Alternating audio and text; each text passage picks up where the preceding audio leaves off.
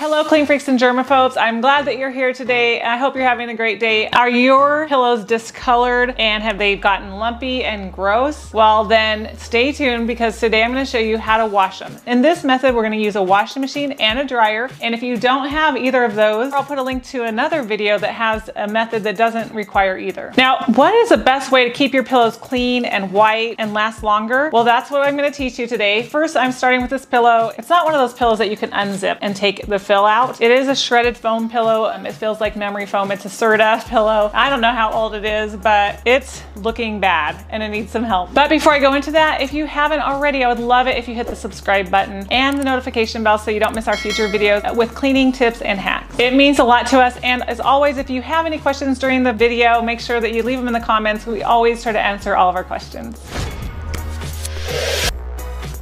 First, I want to talk about the kind of pillows there are. There are so many different types of pillows. And so what I recommend is that you check your label to see if it's machine washable. So this one, I looked at it before. It is machine washable, and so I'm good. So you don't want to throw in some nice wool pillow or other kind of pillow that might be damaged. I don't want to have any ruined pillows on my conscience. Okay, first how to wash your pillows. I'm just going to show you how this works on my washing machine. I could use bedding the bedding setting though won't do an extra spin, I'll just do a medium spin. So I'm gonna put on the heavy duty one and then I'm gonna go here to extra high on the spin, I have warm water, heavy soil, and then I'm gonna push the extra rinse. Here's the pillow and I'm just gonna, I've got like one of these Arm & Hammer pods, that's what I'm gonna use. So put that in and then I'm just gonna use this OxiClean. I love OxiClean. Use it a lot for stains. Oh, those nasty stains. Ooh, there's some nice dirt. Like, look at the dirt just along the side. I hope this all comes out really well. This pillow is so dirty, I'm really curious if we're gonna need more than one wash. The nice thing about this method is you're gonna get inside the pillow, you're gonna get the foam inside. My other method that doesn't require a washing machine is great, but it doesn't get all the way inside.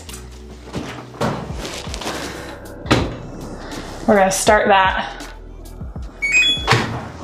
and come back in two hours. So it's gonna be a longer wash. Now what about getting your pillows fluffy again? You don't want a lumpy pillow and so this is the method I use. So the first thing you wanna not do is hang them dry. If you have to hang it dry because you don't have a dryer or you don't wanna chance it, I'll tell you how to get lumps out that way, but we're gonna focus on doing it with a dryer.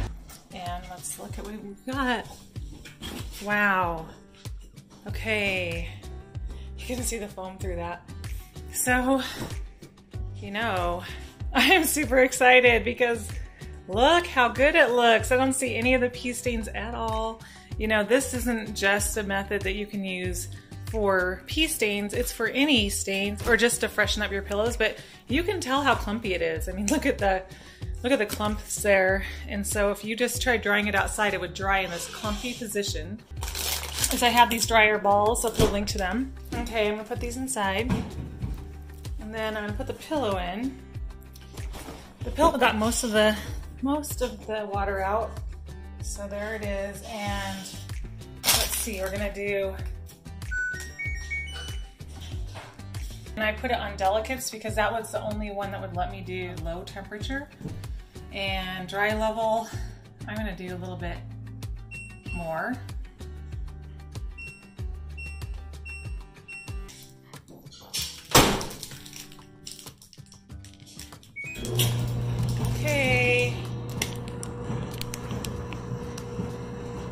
Now here's what to do if you don't have a dryer. You can line dry it. You can hang it up to dry on a clothesline or outside, but the thing you need to do is move around the fluff every once in a while so that it just dries more evenly. So go ahead and just go outside and fluff the pillow, put it back on the line and let it dry. That way more of the inside is exposed to the air and dried more evenly. So if your pillow doesn't look good, even after everything you've done, it may be time to get a new pillow. I mean, this one, I don't know, it might be time. But if you decide you need a new pillow after washing this, it's just not coming clean enough, or it's just flat now, or whatever, you don't like it, we really recommend the Coop brand pillows. And I'm just gonna tell you for a second why. First, they have adjustable fill. So this one you can't take out fill unless you wanna rip out the seam and sew it back up. But the Coop pillows do have a zipper. They have a, a zipper on the outside cover and then they have one on the inside too, where you can actually remove foam or add foam in. And so you can adjust it to the perfect height for you. They also come with a half a pound of extra fill. So that means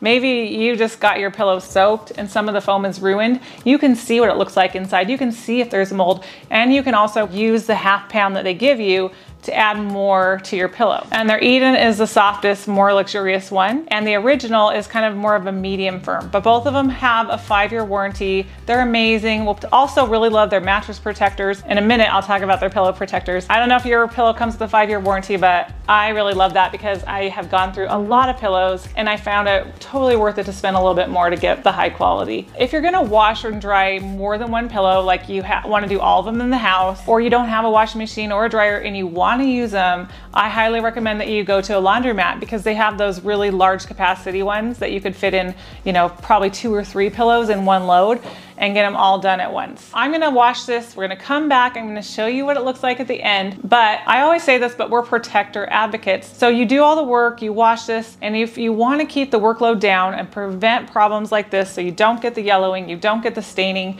you gotta use a pillow protector. But I said I was gonna show you the Coop pillow protector, and here it is.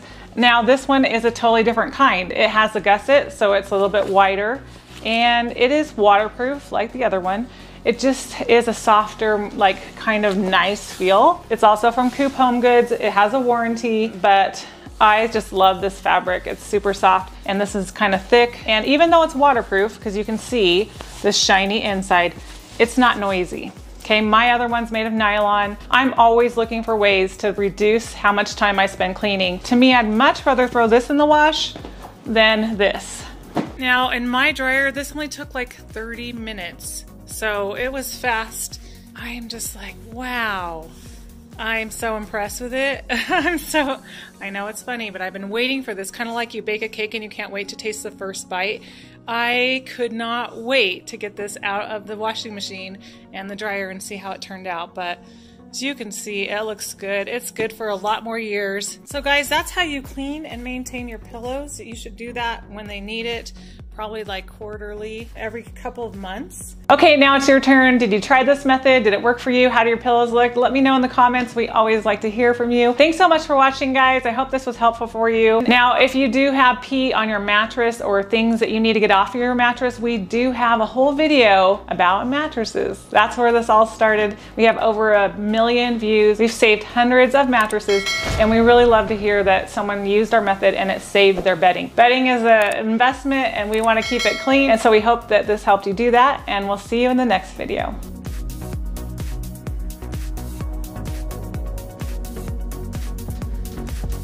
It is fluffy, clean,